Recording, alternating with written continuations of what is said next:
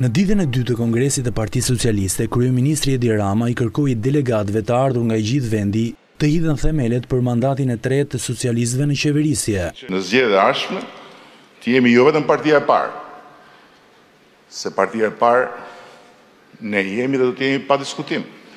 Por kemi mbështetjen më të madhe popullore që kemi pasur ndonjëherë deri tani. Që do të thotë dua 800.000 vota për mandatin e tretë të Partisë Socialiste.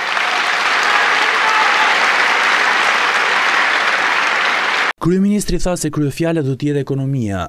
ku pjesën më të shëndoshë do ta zërë rindërtimi i objekteve të dëmtuara nga tërmeti, por pa harruar investimet madhore publike, si rruga Thuman Kashar Rrogozhinë dhe aeroporti i Vlorës.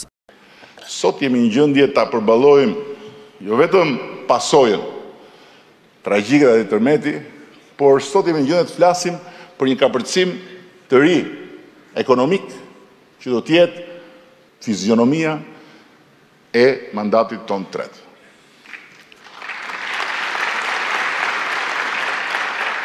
Se aty ku të tjerët panë dritëshkurtësisht fundin tonë për shkak të tërmetit, Aty është burimi i forcës tonë për të shkuar përtej tërmetit dhe për ta çuar vendin në një nivel të ri zhvillimi ekonomik dhe social.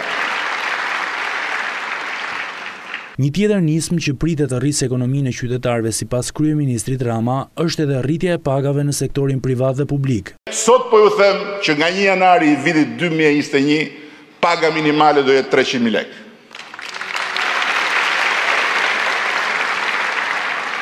Edhe legalizimet do të marrin një vëmendje të veçantë gjatë këtij viti. Po ka akoma shpi në fshat që nuk legalizohen jo këtu jo aty. Shpitë në fshat do legalizohen të gjitha, nuk ka jo këtu jo aty. Shpitë e atyre që kanë ndërtuar në fshat do legalizohen të tëra. Me ligjin e ri nuk ka as këtu as aty. Por risia e programit qeverisës deri në qershor të dy mijë e njëzet e njëshit ishte një amnisti e gjerë për të gjithë shqiptarët, brenda dhe jashtë vendit, të cilët me hyrjen në fuqi të amnistisë fiskale do të mund të deklarojnë të gjitha kursimet e tyre ndër vite. Sa kursime emigrantësh rrinë nën jastëk?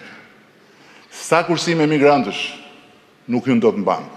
Në punë të zezë kanë punuar gjithë shqiptarët në fillim kur shkuan në emigracion, se nuk i priti njeri me krahë hapur t'i thoshte hajdeni t'ju japim punë të bardhë. Skllevër kanë qenë. Produktet e asaj pune nuk janë kriminale. Prandaj, ne do të lançojmë një amnisti të përgjithshme. Por kreu i qeverisë e ngushtoi hapësirën për të mos përfituar nga kjo amnisti disa kategori, ku nuk përjashtoi as veten e tij. Të gjithë ata që janë politikanë, gjykatës, prokurorë dhe subjekte të deklarimit të pasurisë, këta janë të përjashtuar të gjithë, nuk mund të amnistohet pasuria e tyre, këta do japin llogari nga unë i pari, nga unë i pari, herët ose vonë, herët ose vonë, patjetër do japim llogari një më një për çdo gjë që kemi, ku e kemi, si e kemi, pastaj Secili t'i dali për zot. Në fund, kryeministri iu drejtua me nota ironie edhe presidentit Ilir Meta dhe opozitës joparlamentare. Mendoni që njerëzit njerëzit do ngatërrojnë Gjergj Kastriotin me besëlidhësit e rinj që janë armiq të betuar të reformës në drejtësi. Tani këta, aleanca kundër drejtësisë së re, do bëjë besëlidhjen e dytë të Lezhës. Pa u lodhur të shkojë as deri në Lezhë, po duke ndejt dhe duke thënë, hajdeni këtu se ne jemi këtu për ju, me ju e ku di unë se çfarë. Nuk i sheh njerëzit fare këtu. Kongresi i Partisë Socialiste do të zgjasë për tre ditë rresht. Ditën e premte, në fokus ishte promovimi i gruas në jetën shoqërore dhe politike të vendit. Sot të shtunën u parashtruan punët e bëra deri tani të qeverisë dhe programi deri në qershor të dy mijë e njëzet e njëshit, kur dhe janë zgjedhjet e përgjithshme politike. Ndërsa të dielën në fokus do të jenë të rinjtë.